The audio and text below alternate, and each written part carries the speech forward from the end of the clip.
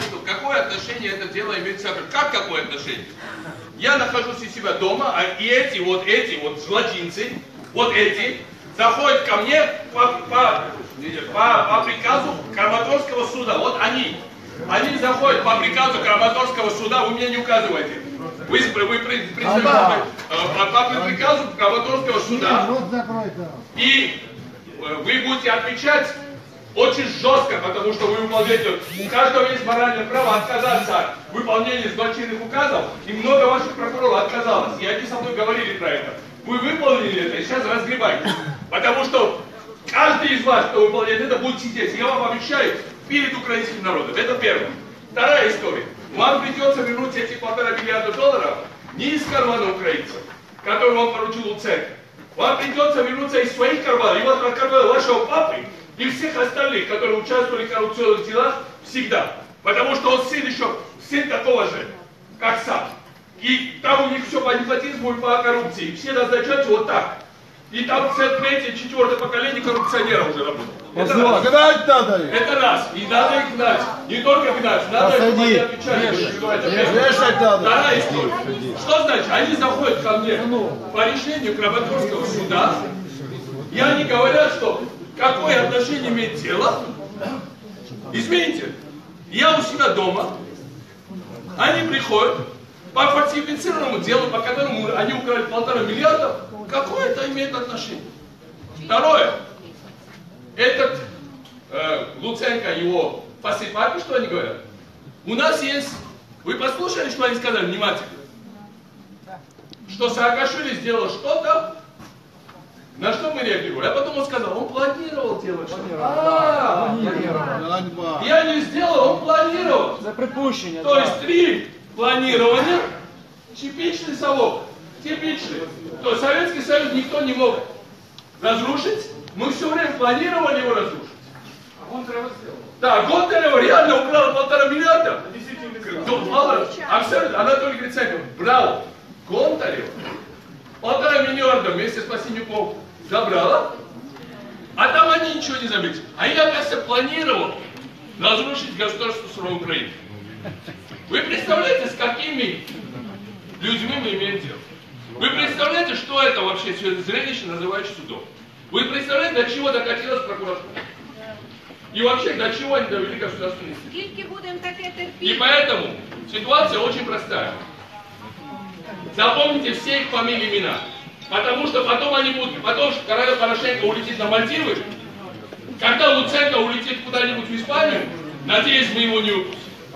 Они будут говорить, мы люди маленькие, тогда так было нужно. Запомните их фамилии, их глаза. Вот это глаза тех людей, которые выполняли их приказы. В этот раз.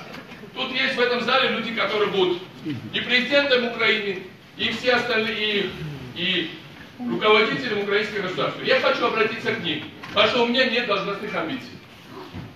Ни в коем случае не отпускайте, прошу вас. Ни в коем случае, чтобы ни они не отвернулись от ответственности в будущем. Это очень важно.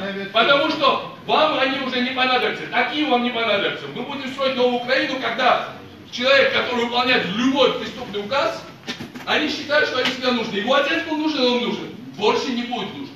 Они нужны в тюрьмах и в камерах. Но ни в коем случае на государственной службе. Это мы должны все запомнить, потому что тут есть очень реальный лидер Украины в этом зале. И тут это необычный процесс. И а- эти люди, какие бы премии им не отдавали, им придется отвечать за это. Их хозяева, кто сбежит, кто не сбежит, у них тоже забрать надо детей. Вот и вся история. И поэтому и Встань и уходи.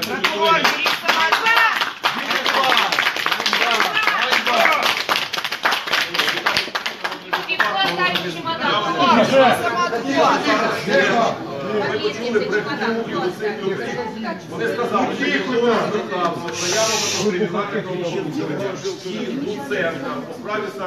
Я вам скажу, дві заяви. Я їх подав особисто. Перше, це про перевищення повноважень генеральним прокурором Луценко і його підлеглими прокурорами при фабрикації так званої справи Саакашвілі, що підтверджується особистими підписами Луценка на документах підлог про відсутність і далі, і далі, і далі. Вони є у мене на Фейсбуці і бачать. Друга заява, яку також подав. про сприяння пана Луценка місцевими прокурорами, Гонтарєву і Пасенюку е, в вчиненні злочину передбачено статті 209 Кримінального кодексу, це е, відмивання е, доходів е, нажитих незаконним шляхом. Ці дві заяви подані. Звісно, що е, за діючим законодавством абсурд. Коли треба порушити справу проти прокурорів і генпрокурора, ми маємо писати заяву прокуратуру. Це абсурд. Звісно, що ніхто на них не відреагував. Але 24 години сплило і подані скарги до судів. І зараз справи знаходяться в судах.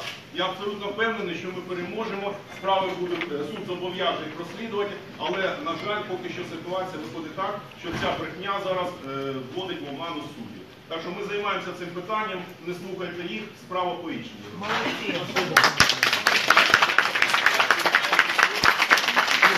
Народний депутат Михайло Віталійович Купрій, але я хочу додати також, що Луценко, поэтому вопрос не только в прокуратуре дела.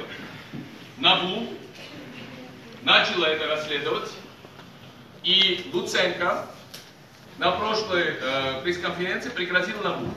Он сказал, что пока по Ситнику ничего не будет делать, мы посмотрим, как он себя будет вести, и тогда решим. То есть они еще угрожают Ситнику эти. И почему они угрожают? Потому что, когда НАБУ возбудило дело, почему вы думаете, Гонтарева пошла в отпуск на 8 месяцев? А знаете, какую она зарплату получает? Забеременела. 7 месяцев за вашей зале, вот в этой, 7 месяцев за год не получаете? Как она получает за один месяц. Она пошла в многомесячный отпуск и уехала за границу. Пасенюк переехал в Лондон. Почему они переехали? Потому что эти-то свои. Но НАБУ есть какое-то странное животное, которое расследует. В отличие от меня, куда я, они меня выдворяют из страны, и они уезжают. А два правой и левой руки президент остался без рук. Он грозился отрубить руки, он остался без правой и левой руки, потому что они уехали. Гонтарева, я не знаю куда, Пасенюк в Лондон. Почему они уехали? Потому что у НАБУ дело по их фальсификации. И почему они, э, что они сделали? Они сделали это потому, что для того, чтобы, э, чтобы э, НАБУ прекратило дело, они ему угрожают. Говорят, мы еще по Ситнику посмотрим, мы еще не... Луценко посмел. Это деградировавший тип. Этот вор просто. Этот человек, который предал всех и всяких, всю жизнь предавал и предал под конец Майдан, посмел еще пригрозить НАБУ, сказал, мы будем смотреть, как они будут себя вести, и поэтому будем реагировать на его действия. То есть генпрокурор не просто вор и коррупционер, но и шантажист. И это, это, это не мои слова, это его слова. Вот чем они занимаются. Они есть организованная преступная группировка. И забудь, организованная преступная группировка это не только крестные отцы. Организованная преступная группировка вот состоит вот из этого типа, из этого типа, из таких людей, которые выполняют их приказы, которые являются непосредственно исполнителями, потому что без них они никто. Порошенко, Луценко ему поцеловал пар- перстень, как вы помните, как в мафиозных фильмах. А эти целуют руки Луценко. Вот так у них выстроена ситуация. Вот Луценко на коленях целует Порошенко руку, а они целуют на коленях, не знаю что Луценко. Поэтому вот вся их- вот вся их отсутствие всякой чести и совести. Вот эти люди. Поэтому не они должны судить нас. Мы их должны судить, люди. Судом народа. Мы их должны судить. И мы тут их судим. Не они нас судят. Запомните, мы их судим. И мы их засудим. Правильно.